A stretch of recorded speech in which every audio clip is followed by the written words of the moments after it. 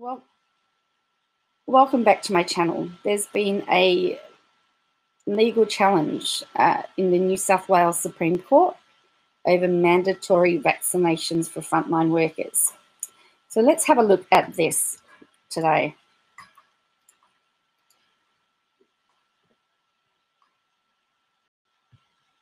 The legal challenge launched against Dr. Ch uh, Kerry Chant, Brad Hazzard over mandatory COVID jabs for frontline workers as lawyers claim requirement strips citizens of their basic human rights. So Sydney solicitor Tony Nicolai, uh, uh, sorry, I totally messed up that name, has filed a lawsuit in the New South Wales Supreme Court challenging New South Wales health officials' compulsory vaccination for frontline workers. Law firm Ashley, Francina, Leonard and Associates argue the orders are illegal as well as the extra powers granted to New South Wales Police to enforce the health orders.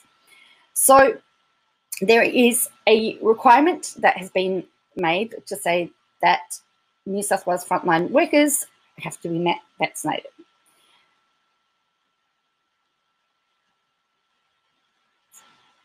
So it was heard for the first time today. So he filed it on Wednesday and it was heard for the first time today. It has been adjourned. I actually managed to catch some of that. The public health orders require a broad class class of workers to be vaccinated is illegal and unconstitutional, as are the extra powers granted to police to enforce the orders. So they've received thousands of inquiries from frontline workers, police, paramedics, nurses, aged care staff, doctors, firefighters, constructors, workers, teachers, airline staff, miners, truck drivers, university students, mums and dads, and importantly, employers.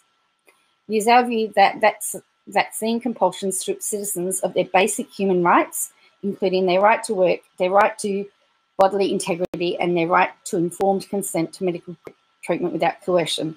The suit will seek a declaration that the New South Wales public health orders are invalid and a ban on any further orders made by Hazzard and Chant. No one is above the law, including ministers and public health officers.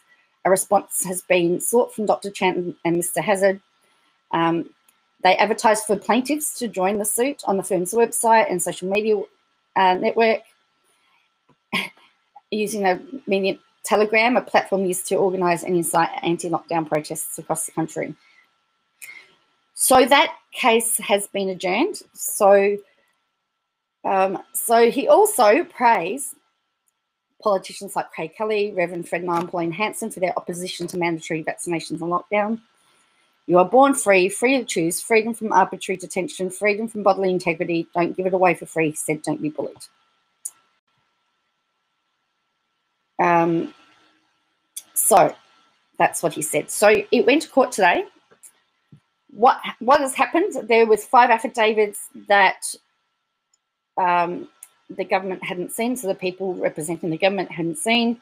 It's been adjourned. It's set down for a directions hearing on Wednesday because everybody needs time to do it. Also, they haven't given the specific, uh, not everybody has received their summons for court, not everyone's received their documentation.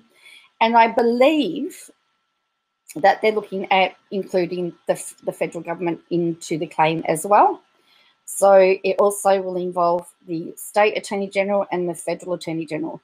So the party that's uh,